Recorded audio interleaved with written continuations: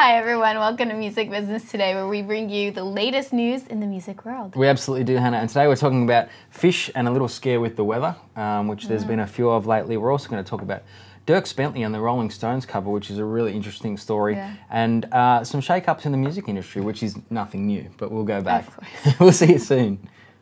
Bandwidth for today's show is brought to you by Softlayer.com. We love Softlayer here at Talkapolis. They are the greatest hosting company ever. They make everything easy. Check out their website at softlayer.com. Thanks again for sponsoring the show. Welcome back to Music Business Today. I am Hannah Renee. And I'm Kane Harrison, and we are going to kick off with a bit of a scare for Phish, um, who the, the band were playing in Chicago recently, and they had to po- po- po- po- po- po- postpone their concert for some time, which uh, a lot of bands have had to do lately Yeah. due to weather scares. Well, they evacuated. oh, right, they They evacuated. didn't just postpone it. Um, it was Pearl Jam that had a three-hour delay. That's right, that's, that's Um, exactly right. But they actually evacuated the Phish show. I mean, this has happened a lot, and I think that now Yeah. because uh, we've talked about it a little bit too, because I think way back, like last year, Mm-hmm. sometime, um, where there was a country music festival in Canada where some people died, unfortunately, because Yeah, of stage. Mm-hmm. collapses and things like that. More recently, um, a couple of months ago, there was the same thing where the stage collapsed a little bit, and so yeah. Well, so I think people are starting to try to be a lot more cautious about when there's inclement weather, you know, headed that direction, just taking those safety precautions and being proactive. Absolutely, and I think this time of year with that strip up the center of the country where it just seems to roll on through. It's so just um, insane weather. It is, but needless to say, they it um, especially the Pearl Jam one, they loved the wait and they waited for three hours, I think, and then Mm-hmm. Yeah. Pearl Jam come on stage and probably absolutely nailed it, as we all know they do. Of course. Yeah, Um, well, also Dierks Bentley. I'm sure everyone has heard about the Rolling Stone cover Mm-hmm. that features the alleged terrorist from the Boston bombings um, on the cover. And Dierks Bentley has actually, you know, stepped in and kind of voiced his opinion. He posted a picture of him, you know, carrying the magazine like tucked Mm-hmm. into his arm, so you can't see the picture on it um, on his Twitter account. Um, and basically, he was saying, you know, you can exercise your First Amendment. That's totally fine, free speech, but I'm going to exercise my right to not spend seven bucks on your magazine.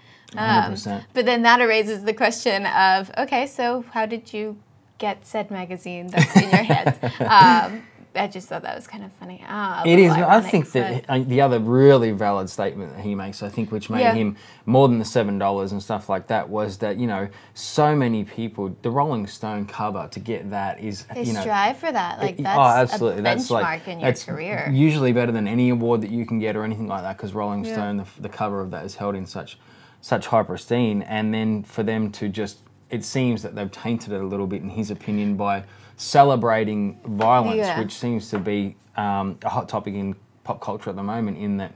You know, I mean, I mean, back in the day with movies like Natural Born Killers, one of my favorite. But that's what that movie, with whole thing, was about: is just this celebration of, of violence. I mean, I Um, guess that's true. I've kind of been really into a particular show lately that I guess, in a sense, kind of glorifies It it. definitely glorifies it. I think, but I think that you know, and it's the same. You get a choice to go and buy this magazine, Yeah. and that's what Dirk Bentley was saying.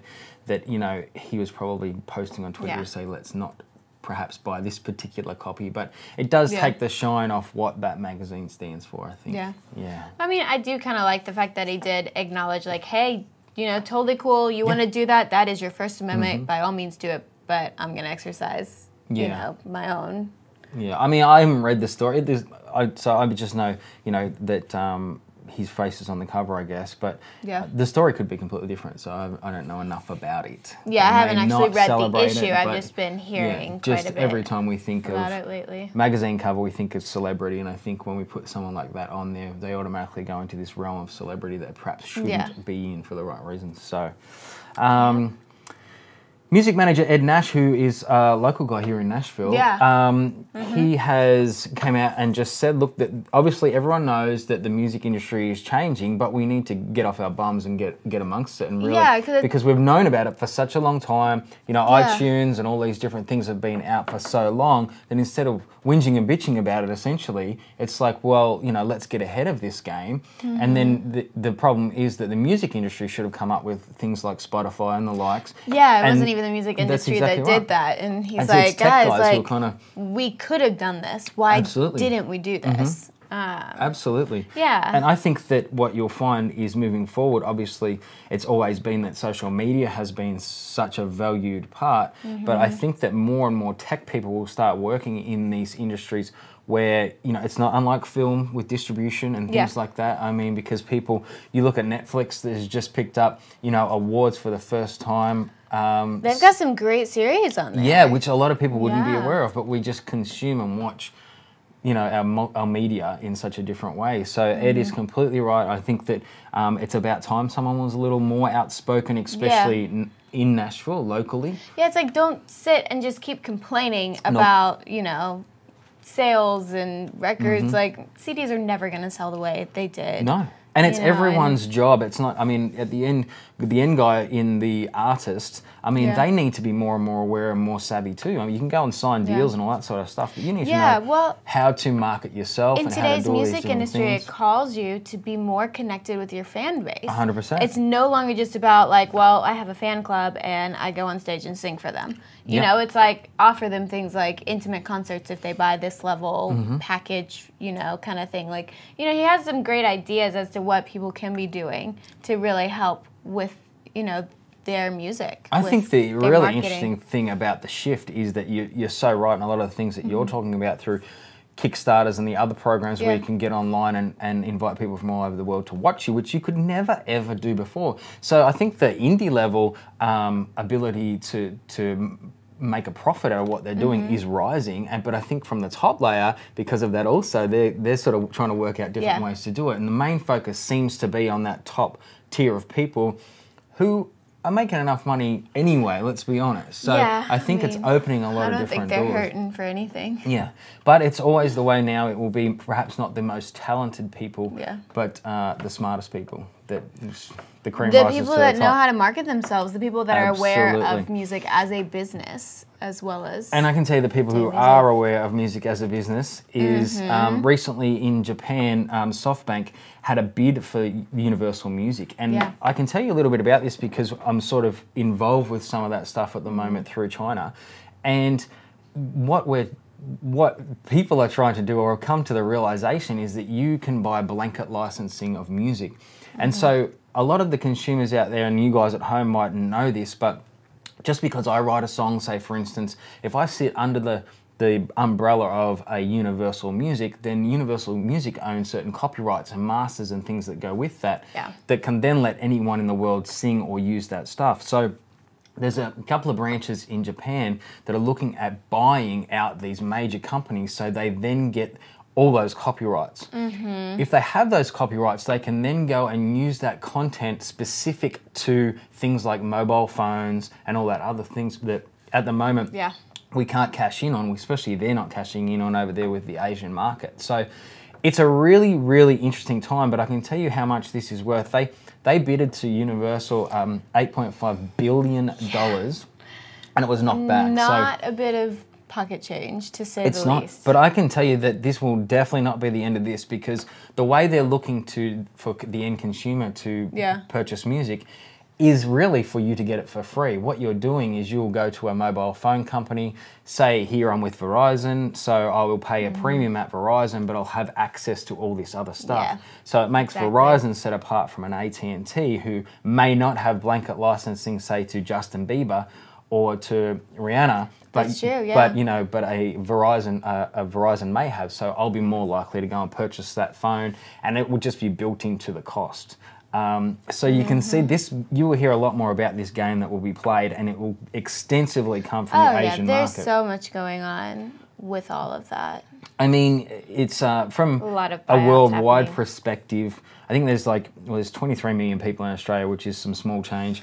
There's 330 million people in America, and it Yeah. seems that at the moment so much talk is about the self-consumption of America. But there's 1.3 billion people in China.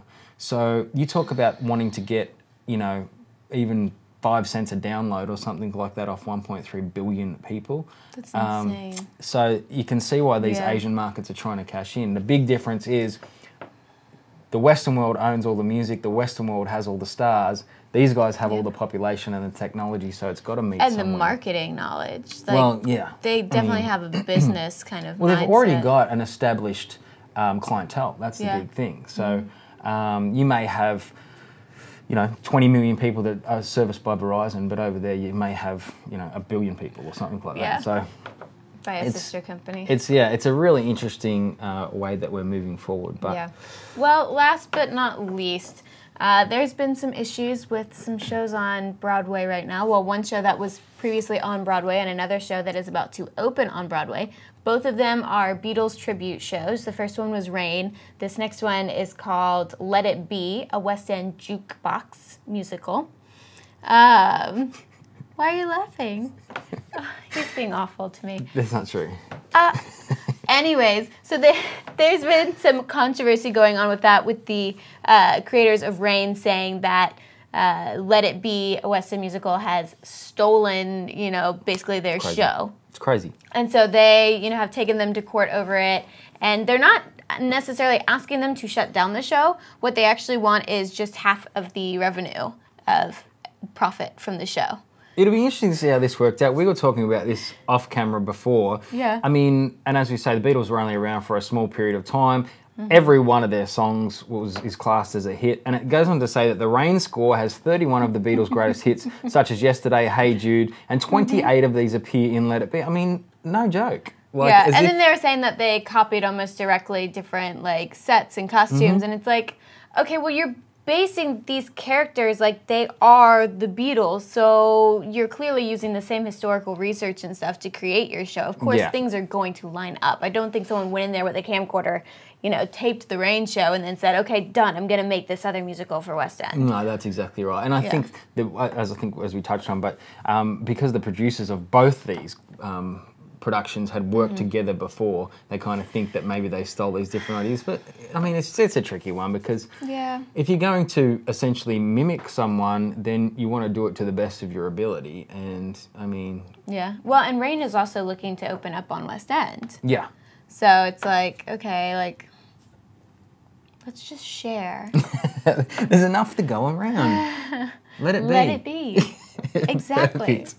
Well, Kane, how can we be found? We can be found all over the internet, um, especially on Facebook, which is probably where you're watching us right now. And we thank you so much for doing it. But it also means that through Facebook, you can communicate with us by sending us a message, jumping on uh, the Music Business Today page, liking it, and sharing some information, whatever you like. Um, also, we have an awesome Talkapolis app that you can get on your smartphones. Yes. So we're kind of all over the place, which we're happy about. That's easy to find us. It is. Well, that's all we've got time for, guys. So thank you so much for coming past, and we will see you next time. Talkapolis, the social media TV network for your city.